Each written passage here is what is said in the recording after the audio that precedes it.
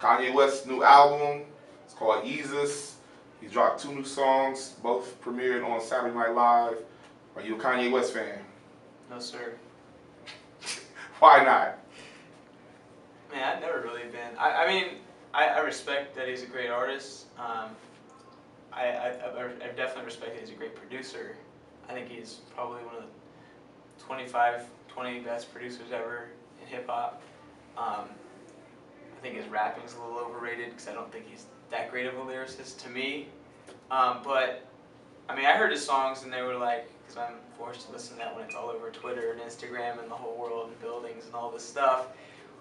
So I heard them and, and they were they were cool. I mean, like I, I feel like they were kind of contradictory of each other. Not that that is not like any other hip hop artist, but for the, as much press as it's getting, I don't know. Like I, I just I just don't gaga over it. I'm just really not. I just really don't care about a lot of stuff that Kanye does. Uh, you know, I don't know.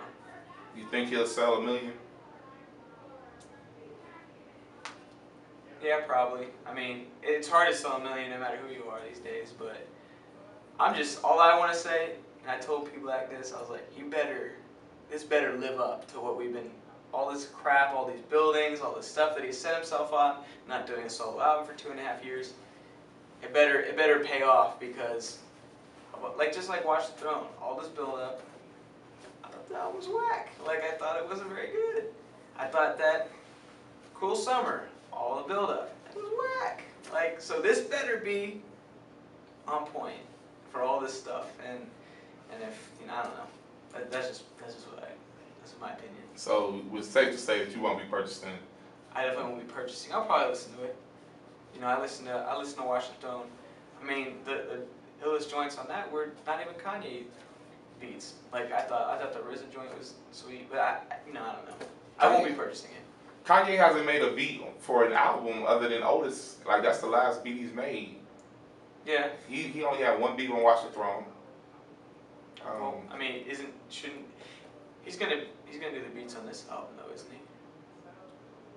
I, would I wanna I wanna say I hope so. I mean, like, isn't from- it his stuff? I, I've, I I assume the two songs I heard were his production. I'm feeling like Hit Boy would be his go-to guy right now. Could be. I think that I I think that kind of fits more with Jay, but um, I mean, he he produced all of his other solo albums. Like, I feel like he would be doing it again. Like, you know, I don't think he. I think he's really not. He like college dropout days. He, he that was the whole thing. Like, he was very relatable back then. Now it's Givenchy this and Prada that, and I'm Armani all this world stuff. And I'm like, this is so like you're not relatable anymore. You're just talking about how much money you have. Fine, cool.